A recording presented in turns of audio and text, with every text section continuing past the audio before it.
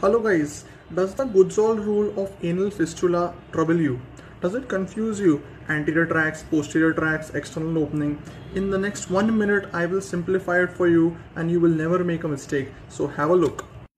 In the lithotomy position, draw a horizontal line at the anal verge. Now draw a semicircle of 3 cm radius anteriorly. That's all you need to do. Now see where the external opening of the fistula is. If it lies within this semicircle, like you see here, then the tract will be straight, it will go in the same line. On the other hand, if the opening is anywhere outside the semicircle, whether it is anterior or posterior, these tracts will be curved and all of these tracts will open posteriorly in midline at 6 o'clock. That's all you need to know about Goodsall rule.